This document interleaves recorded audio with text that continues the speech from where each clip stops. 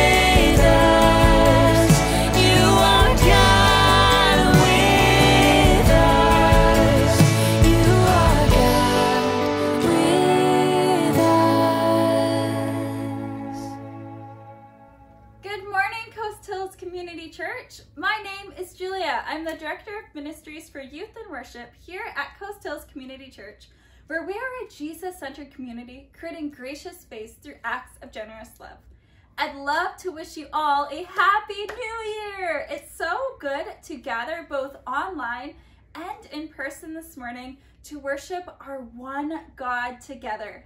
Friends, as we continue in the service, would you join with us through song? Oh.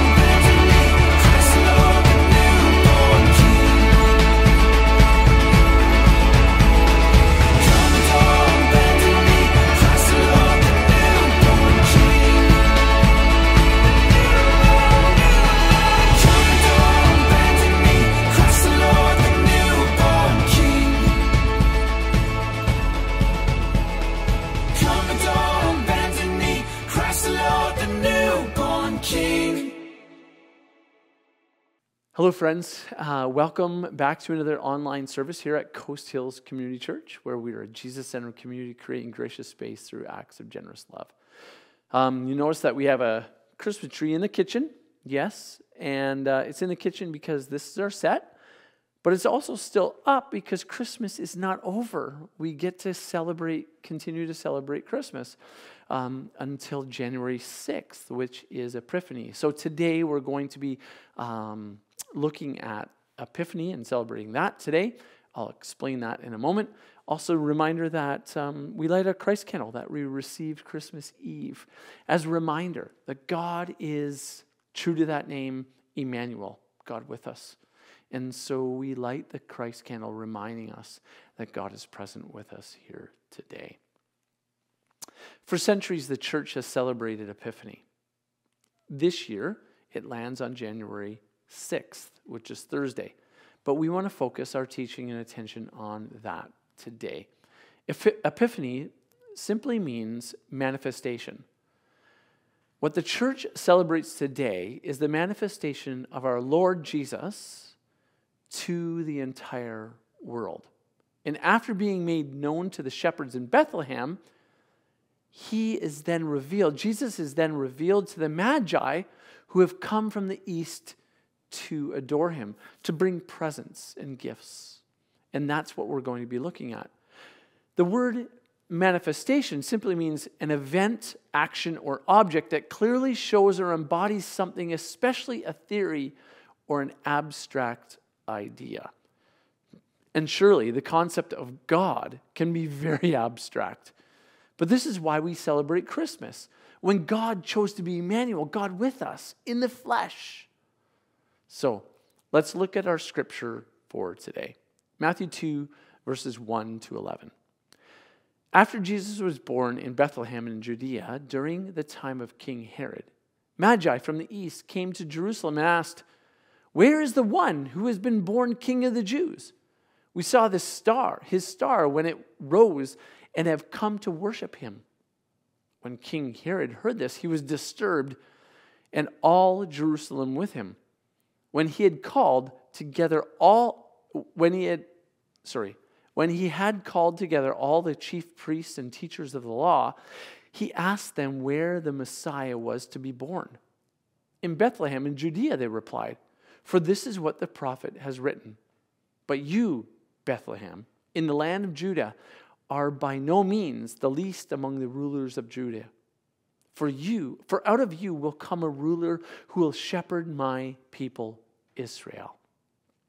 Then Herod heard the Magi secretly. Sorry, then Herod had called the Magi secretly and found out from them the exact time the star had appeared. He sent them to Bethlehem and said, Go and search carefully for the child. As soon as you find him, report to me, and I too may go and worship him. After they had heard the king, they went on their way. And the star they had seen when it rose went ahead of them until it stopped over the place where the child was. When they saw the star, they were overjoyed. On coming to the house, they saw the child with his mother Mary, and they bowed down and worshiped him. Then they opened their treasures and presented him with gifts of gold, frankincense, and myrrh.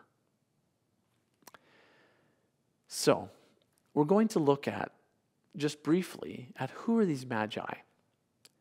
There were wise men. Sometimes you, we sing the song, We Three Kings of Orient Are. Uh, we don't know if there were three kings. It could be two, it could have been five. Um, scripture isn't clear, but tradition uh, and legend uh, says that there's three, so let's go with that. But magi, the term magi could refer to a Persian priestly caste of Zoroastrianism. Without going into too much detail of this, these men were serious seekers of the meaning of life. You could say that these men were thoughtful theological scientists. They were part of a group of people that studied the movement of the stars in the sky. And they believed that in some way, cosmic forces were at play and they had an impact on the earth. That they had an impact on what was happening here and, with, uh, and, and would reveal some secrets of life and the history. And it was revealed to them in the stars. So they were making some deductions in terms of the movement of the stars that something was occurring and that this something was a birth of an important king that had happened. And so Matthew here is including this story. He's wanting his readers or the hearers of this story to know that and understand that something big has happened and is happening. That the God of the universe has entered the world. The God of the universe has come near. The God of the universe has been revealed to humanity. There has been an epiphany, a manifestation of the abstract. The God who has not who we have not seen, the God who we cannot understand, the God who is invisible has made himself visible and known in the person of Jesus Christ. And these magi are part of the story. People searching for the meaning of life start from all kinds of places and they begin their journey from all different perspectives and understandings and worldviews. I want us to see that in this story, God uses where we are at, wherever we're at, to draw people to Himself, even through the stars. For these men, there was a sense of intrigue, a quest at the meaning of life that led them on a journey, causing them to travel over 800 miles to discovery. That's a long time. Possibly over 40 days that they traveled. What are a few things that we can learn from this passage that might be applicable to us? Well, the first might be that God reveals himself to people that we might not expect. Those of us that have been in a church for a long time, um, sometimes we need to be reminded that God actually is speaking to people outside of our faith community, pointing them to who Jesus is. Let's be reminded of that. These outsiders are the ones on, the, on a quest, are seeking the child to bring gifts of adoration in the midst of the curiosity and wonder. In Matthew's gospel account, he has the insiders, the religious leaders, and the political leaders, the people in power of the day. Now, Herod is an interesting uh, figure here that is kind of uh, bringing the religious understanding of power as well as the political power together into one head. Now, he later on is wanting to seek out Jesus um, he's trying to dupe the Magi into showing him where he is so that later on we see that, that he put an order out to kill every boy within two years old to make sure that he could eradicate. And then we see later that Mary and Joseph have to flee to Egypt. In the midst of this, there's, there's a lot of hard things that are happening in the midst of the Christmas story here. But Herod isn't seeking Jesus out of curiosity and wonder. Herod and the political leaders are seeking this baby out, this manifestation of who God is, out of envy and spite, worried about their power. Hmm. Another thing we can see here is that the Magi went, in the midst of their curiosity, they went to the wrong place. Um, which seems normal. If you're looking for a king in a foreign country, you go to the capital and then you go to the palace. You don't go to an ordinary small town that might be pretty obscure.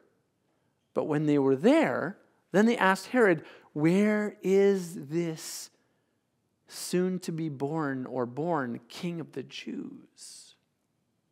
Herod must have been, uh, Excuse me, um, I'm the king of the Jews.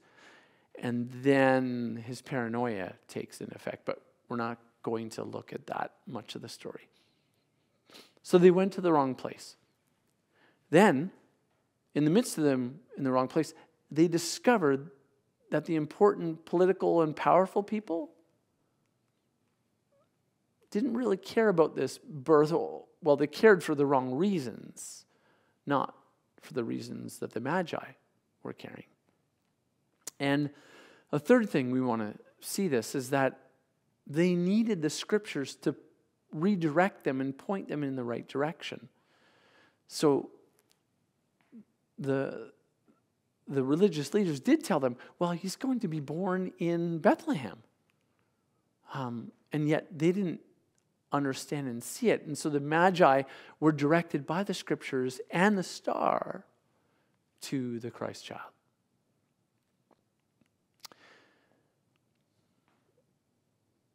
It's almost like there was a realization that God wanted to be born where we would least expect God to be, or perhaps where we least ex- uh, desire God to be, in a place where we so often refuse Him, which might be just ordinary places in our lives, if we can see this story even as a metaphor for us. There's a realization that in God's eyes, there's always room for those on the outside of our religion. People who have been journeying for a long time, who are thoughtful seekers and wonderfully curious of a God who would be manifested in the flesh who, in the midst of their long journey, might be exhausted but are still searching. And I, I wonder for us, those of us that are Jesus followers for a long time, I wonder how far our Jerusalem, our looking for God in the places of power, how far that is from our Bethlehem, looking for God in the ordinary, simple areas of God, of, of life. So, like I said in Christmas Eve, there's a continual interruption of Christmas. So, Merry Christmas. Yeah, it's still not over. We hear the story of the Magi and the gifts that they brought with them to give to this king. And we realize that it must have been for them interesting to find a king where they were seeking to be born in a humble home to an ordinary carpenter and his wife. And still, they believed in what they were seeking, and that belief allowed them to see past the outward scene and to realize what was truly happening.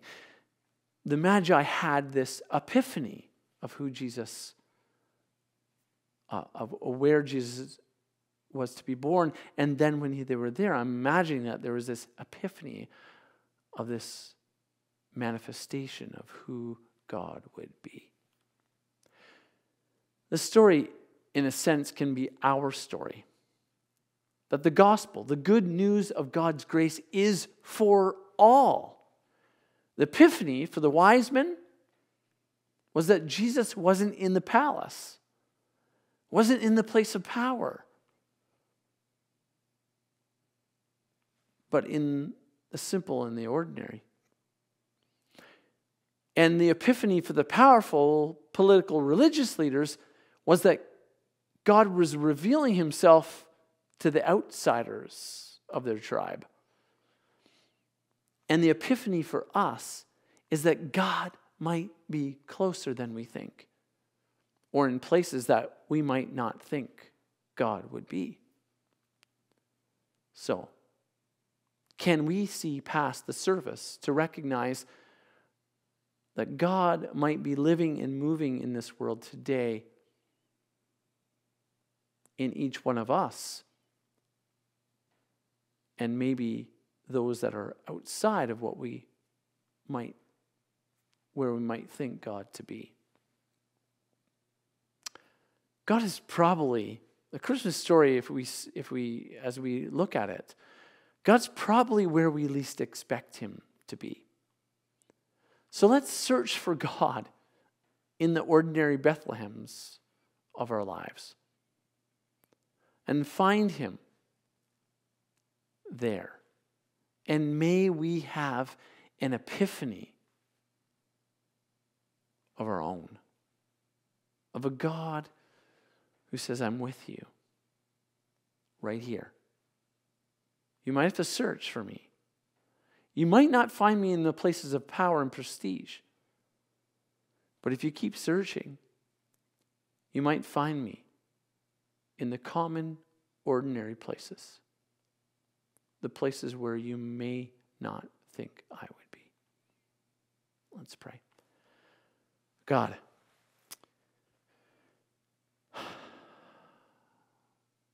for those of us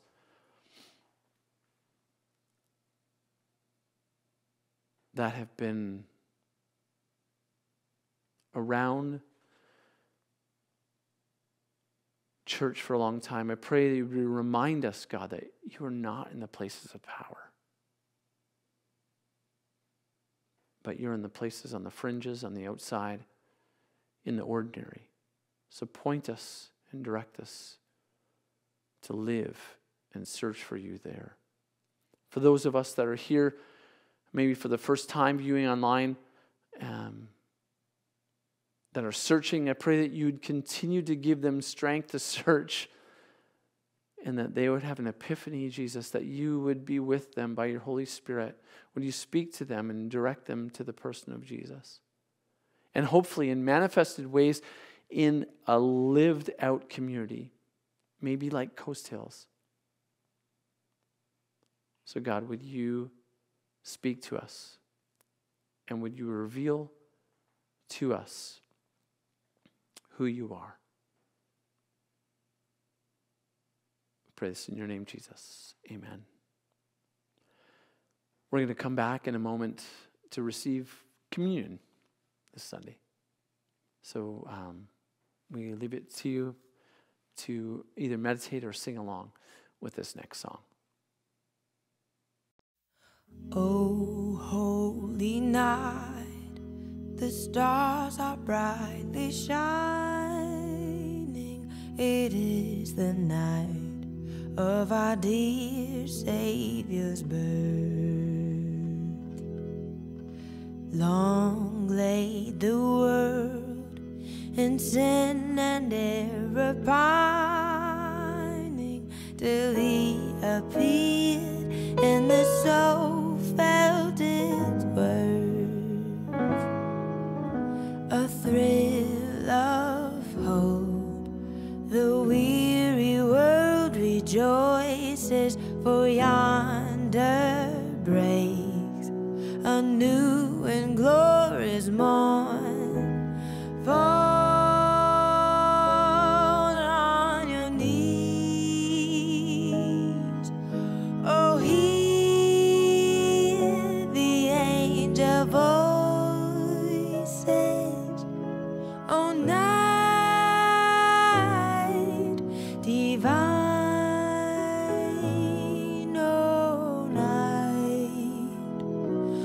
Christ was born.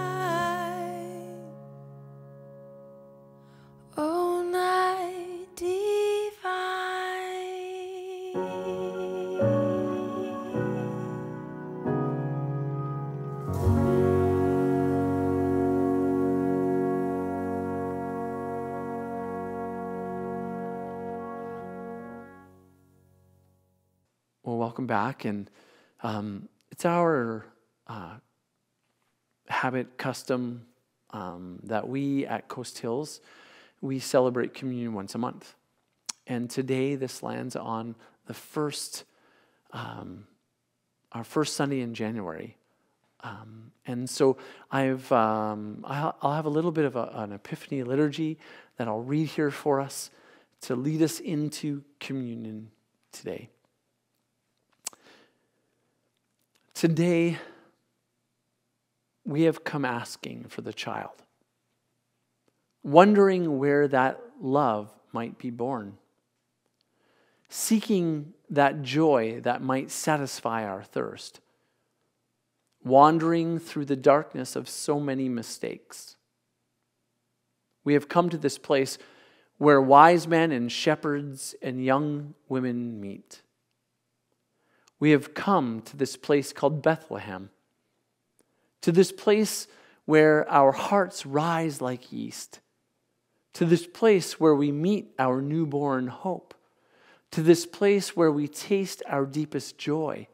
In Bethlehem, where we assume the worst, imagining that no good can come, we somehow missed its name Bethlehem. Lehem meaning bread. Bethel, meaning house. There is something here that will satisfy our hunger, no matter how long we have wandered. Here, our hearts arise. Our light has come. In this bread and in this cup, we celebrate something that we can't quite understand. Because God has made a house at this table. Because God satisfies our hunger in most unlikely places.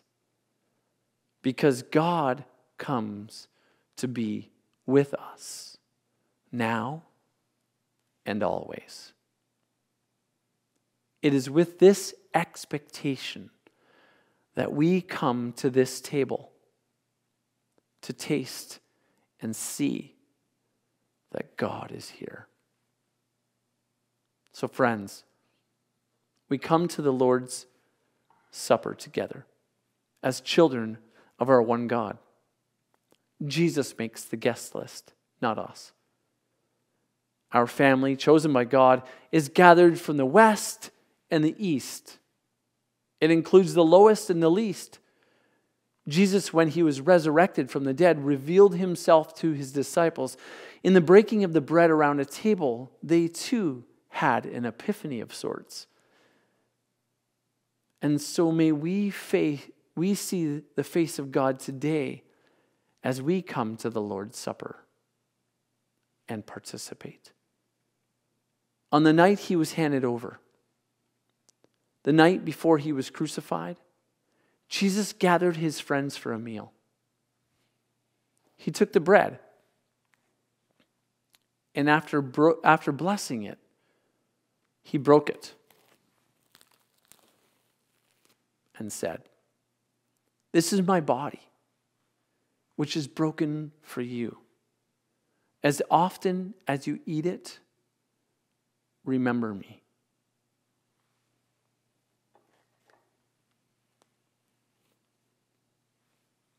Jesus, thank you for your this bread that symbolizes your body that was broken for us.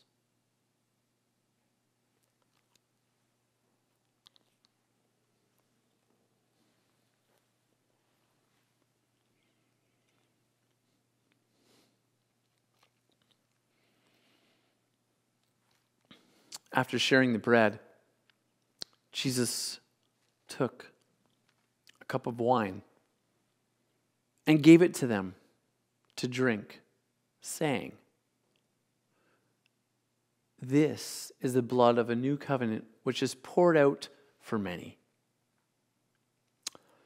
Jesus, thank you for this symbol that represents your shed blood, which represents the love that you have for the entire world including us, each and every one personally. God, we take this cup with joy, thankfulness. In your name, amen. Take.